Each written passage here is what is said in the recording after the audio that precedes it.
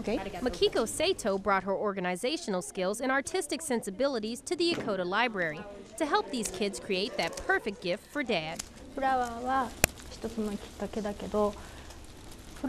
Flower arrangement is just an idea to start with.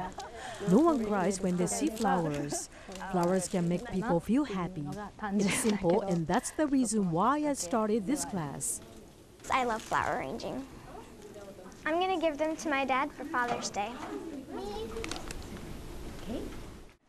I wanted to do it because I thought it would be fun. Not only does making the flower arrangements give the kids a chance to show Dad how much they care with a personal touch, the process also gives Makiko a chance to express a gratitude of her own. The family support American troops while they're out for their missions, and their children cultivate their sensitivities and challenge many things by merging American and Japanese cultures. Also, I hope to repay America for what they do for Japan. And that is how I started with this class. And what better way to say thanks than with flowers? Senior Airman Therese Garnier, Yokota Air Base, Japan.